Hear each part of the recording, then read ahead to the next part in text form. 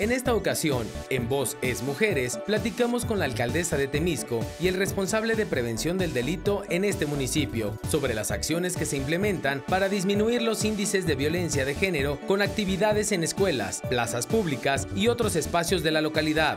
Voz es Mujeres, miércoles 13 horas, Canal 49, el canal de Morelos.